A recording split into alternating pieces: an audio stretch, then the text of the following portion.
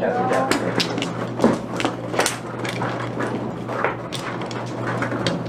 有。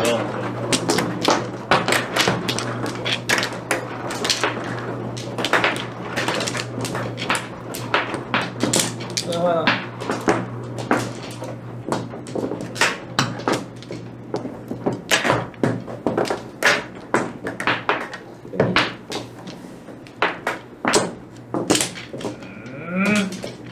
米奇，就换吧。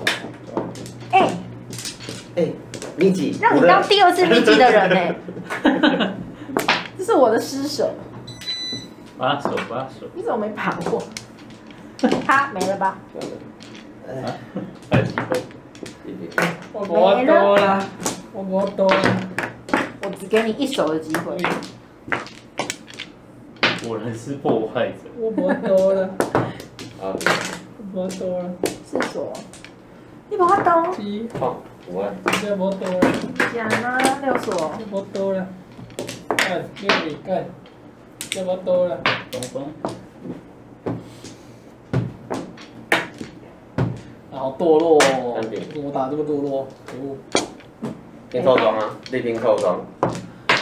哇，看看，那好久嘞。七分，对，好久才刚开始，对啊，那好久嘞。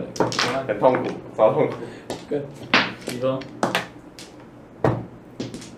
发财，发财，对，碰，哎，哇，来比，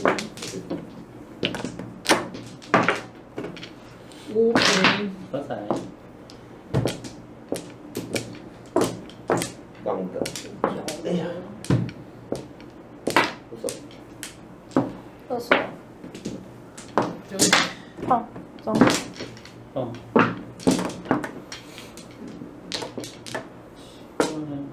嗯，相公，啊，啊，没相公，没有，没相公。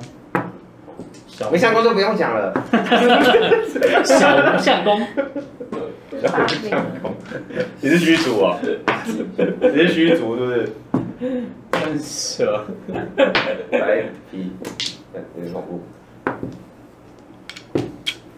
找听二五手，多清一色，好，对，啊，找不要听北风，九台，我听北风要听什么？听二五手啊，有虎啦。